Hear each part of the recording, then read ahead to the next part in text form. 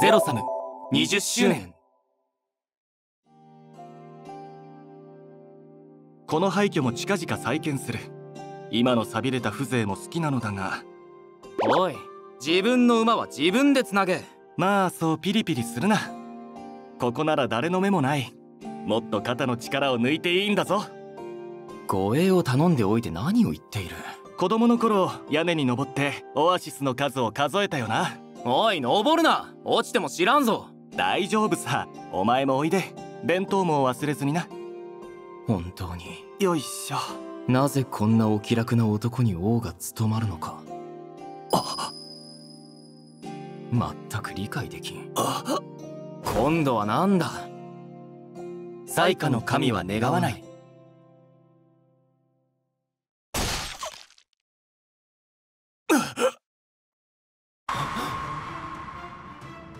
あ兄上！尋常傷口に中層止血を妨げるためか。逃げられたか。ここには俺たち以外の気配はなかった。この俺が気づかなかったというのか。兄上！俺には呪詛は解けん。王宮に戻るしか。クソ誰が！クソ。クソこの俺がついていながら瀬戸様国王陛下！説明は後だ。傷口に呪詛がかかって血が止まらん。早くとうとう。早くしろグストもおい兄上しっかりしろ。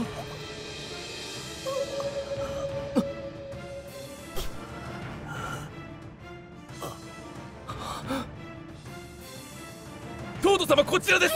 おおこれは一体？止血か石段が。これ以上動かすな。王妃様。王様。ホルス殿下。殿下こちらへ。兄上。セトとうとう兄上の容体は？助けられなかった。ああうん。そうだ。兄上は？信じたくないよ。君がこんな大罪を犯すなんて。とうとうこれは何の真似だ？王を切った資格を砂漠で捕らえたと報告があった。だけど隙をついて資格は自害したと。何だと？資格は死ぬ前に君に命じられて王を切ったと言った。は？そんなわけがあるか俺はなんとか兄上を助けようと。なのになぜ止血もしなかったんだい？だから傷口に呪詛が。傷口には呪詛の痕跡すらなかった。僕だけでなく他の医師も大魔女であるイシス王妃も確認したよ。今国中の神々を招集してる。君の今後は法廷で決める。瀬戸様